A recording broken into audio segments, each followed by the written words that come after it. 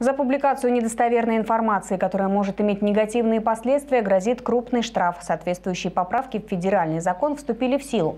Что же такое фейковые новости, выясняла Татьяна Бойко.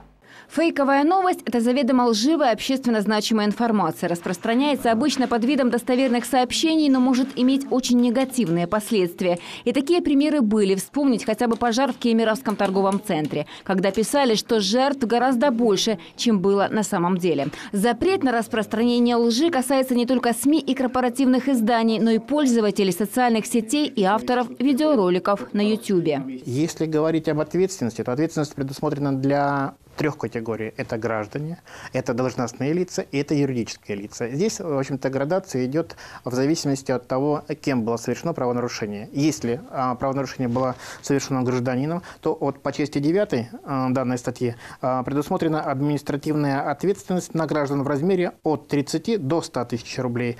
Вдумчивые фолловеры доверяют далеко не каждой информации из соцсетей, но все же немало и тех, кто верит каждой новости из интернета. К примеру, сегодня в группе «Муравленко» Луценко появился пост с сообщением о ДТП, в котором пострадал ребенок-пешеход. Авария сегодня действительно была, вот только потерпевшая не школьница, а 22-летняя девушка. Отличить самостоятельно фейки и вбросы непросто, но вполне реально, если обращать внимание на некоторые вещи.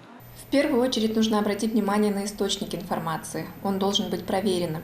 Можно посмотреть, есть ли похожая информация на других новостных сайтах. И, конечно же, важна подача и оформление самой информации. То есть, если на первый план выходит кричащий заголовок, а в самом тексте использовано слишком много восклицательных знаков, допущены грубые ошибки, то можно с большой долей вероятности сказать, что перед нами фейковая новость. В новом законе указан список последствий, в каких случаях доступ к недостоверной информации может ограничиваться. Предусмотрен и особый порядок закрытия доступа для сетевых изданий. Составляется протокол об административном правонарушении, и уже, соответственно, суд э, определяет, есть состав административного правонарушения, либо нет состава административного правонарушения, и выносит наказание. Но для того, чтобы была определенная гарантия, в том числе и для средств массовой информации, э, к данной статье имеется примечание, что в течение 24 часов, э, соответственно, лицо, составляющее протокол, обязано уведомить об этом органу прокуратуры. Новый закон вступил в силу только в марте, поэтому как будет складываться судебная практика по делам о фейковых новостях, покажет время. Татьяна Бойко, Антон Иванов, Новости Муравленко.